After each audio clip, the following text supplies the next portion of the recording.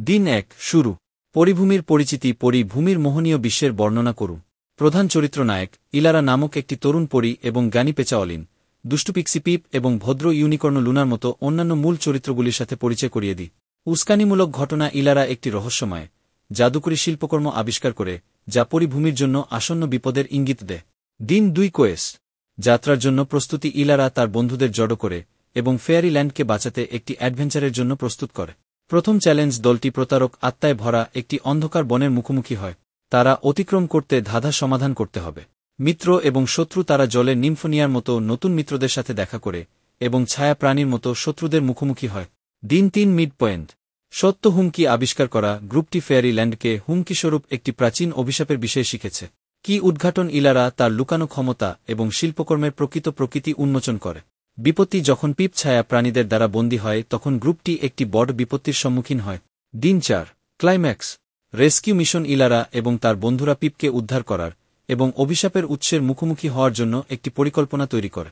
চূড়ান্ত যুদ্ধ আলো এবং অন্ধকারের শক্তির মধ্যে একটি মহাকাব্যিক শোডাউন ঘটে। এলারাস স্যাক্রিফাইস এলারা ফেয়ারি ল্যান্ডকে বাঁচাতে একটি গুরুত্বপূর্ণ ব্যক্তিগত ত্যাগ স্বীকার করে। দিন পাঁচ, রেজলিউশন, আফটারম্যাথ অভিশাপ ভেঙে গেছে এবং পরিভূমি নিরাময় শুরু করেছে। উদযাপন ফেয়ারি ল্যান্ডের বাসিন্দারা তাদের বিজয় উদযাপন করে এবং ইলারার সাহসিকতাকে সম্মান করে। উপসংহার ইলারা তার যাত্রা এবং শেখা পাঠের প্রতিফলন করে, একটি উজ্জ্বল ভবিষ্যতের অপেক্ষা। দিন এক, শুরু। অধ্যায় এক, একটি মন্ত্রমুগ্ধ বিশ্ব। একটি প্রাচীন বনের হৃদয়ে, সাধারণ চোখের নাগালের বাইরে, পরিভূমির রহস্যময় রাজ্য স্থাপন করে। এটি এমন একটি পৃথিবী যেখানে জাদু বাতাসে নাচত এবং প্রতিটি প্রাণী প্রকৃতির সাথে মিল রেখে বাস কর। আকাশ ল্যাভেন্ডার এবং সোনার রঙে ঝলমল করে। এবং নদীগুলি তরল স্ফটিকের মতো জলজল করে। ফুলগুলি মিষ্টি সুর গেয়েছিল, এবং গাছগুলি যারা শুনবে তাদের কাছে গোপন কথা ফিসফিস করে।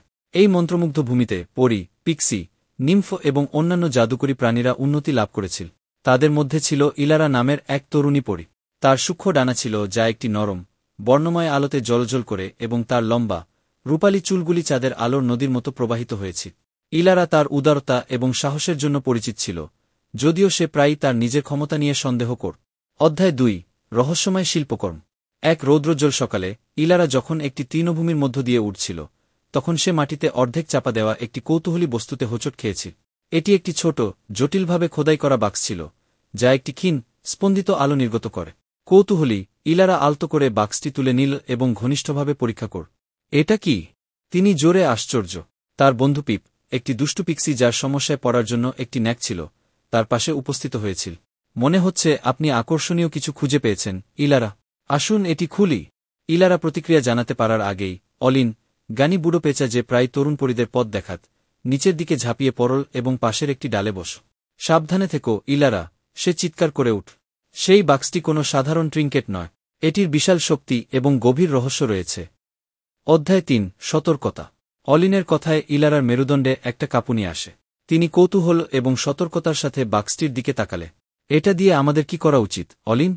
আর্টিফ্যাক্টটি একটি প্রাচীন ভবিষ্যদ্বাণীর সাথে যুক্ত। অলিন ব্যাখ্যা করেছিলে। এটি এমন একটি সময়ের কথা বলে যখন ফেয়ারি ল্যান্ড একটি গুরুতর বিপদের মুখোমুখি হবে এবং শুধুমাত্র একটি সত্যহৃদয় পরী আমাদের বিশ্বকে বাঁচাতে তার গোপনীয়তা আনলক করতে পারে। ইলারা দ্বিধসংকল্পের ঢেউ অনুভব কর। তাহলে আমাদের অবশ্যই এর রহস্য উদ্ঘাটন করতে হবে এবং ফেয়ারি ল্যান্ডকে রক্ষা করতে হবে। অলিন মাথানাড আপনাকে অবশ্যই গ্রেট লাইব্রেরি অফ এল্ডারট্রি খুঁজে বের করতে হবে। সেখানে আপনি যে উত্তরগুলি খুঁজছেন তা পাবে। তবে সাবধান, যাত্রা বিপদে পরিপূর্ণ হবে। অধ্যায় চার, যাত্রার জন্য প্রস্তুতি।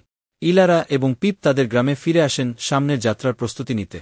তারা সরবরাহ সংগ্রহ করে এবং তাদের বন্ধু এবং পরিবারকে বিদায় জানা। লুনা, একটি তেজস্বী ম্যান সহ একটি মৃদু ইউনিকর্ণ, তাদের সাথে যাওয়ার প্রস্তাব দেয়। তার উপস্থিতি একটি সান্ত্বনা ছিল এবং তার ঔন্দ্রজালিক ক্ষমতা অমূল্য হবে। তারা রোনা হওয়ার সাথে সাথে গ্রামবাসী তাদের মঙ্গল কামনা করেছিল, তাদের কণ্ঠ আশা ও উদ্বেগে ভরা। তারার আলো তোমাকে পথ দেখাক, ইলারা, একজন প্রবীণ বললেন এবং মনে রাখবেন, আপনি কখনই একা নন। সাহস এবং সংকল্পে পূর্ণ হৃদয় নিয়ে, ইলারা, পিপ এবং লুনাপরি ভূমিকে বাঁচানোর জন্য তাদের অনুসন্ধানে যাত্রা শুরু করেছিল। তাদের জন্য অপেক্ষা করা চ্যালেঞ্জ এবং বিস্ময় সম্পর্কে অজান্তে